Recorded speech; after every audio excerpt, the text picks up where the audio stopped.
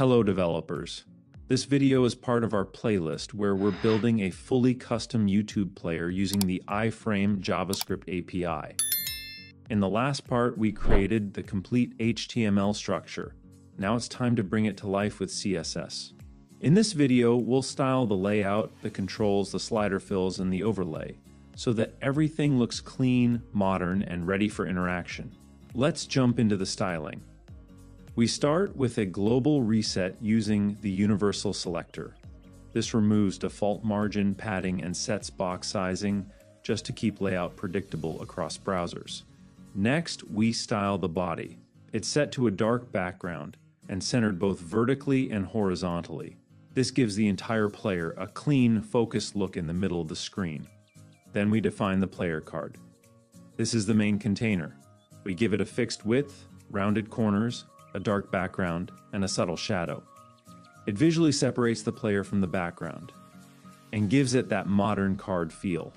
Inside the card, we have the video wrapper. It's positioned relative, which lets us place the overlay play button and other elements on top of the video later. Now comes the most important part, the player itself. Remember, this is the empty div where YouTube will load the actual video. We set its width and height to fill the space, and we disable pointer events. That way, clicks go to our custom controls instead of YouTube's default player layer. Then we style the overlay play button. It's placed right in the center of the video. We use absolute positioning, a circular background, a blur effect, and transition for smooth hover scaling. This makes it feel interactive and clean, just like a native player. Now let's look at the controls bar. It's styled as a horizontal flex container with spacing between the buttons. The background is a semi-transparent dark layer which helps the controls stand out without covering the video. The buttons use a consistent style, rounded corners, transparent backgrounds, and white icons. We also add hover effects to make them feel responsive when clicked or hovered. The volume and seek containers are grouped together. This keeps the controls aligned and easy to understand at a glance.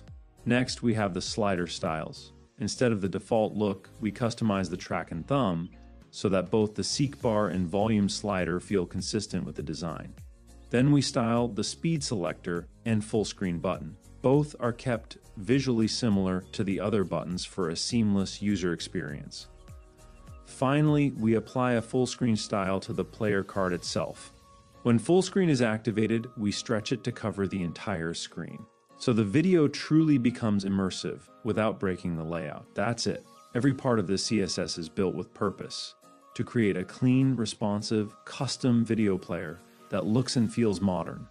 Now that our layout and design are ready, let's dive into the JavaScript and see how we bring this player to life with the YouTube iframe API.